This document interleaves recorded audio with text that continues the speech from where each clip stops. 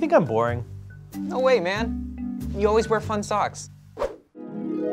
Oh yeah. Anything else? No,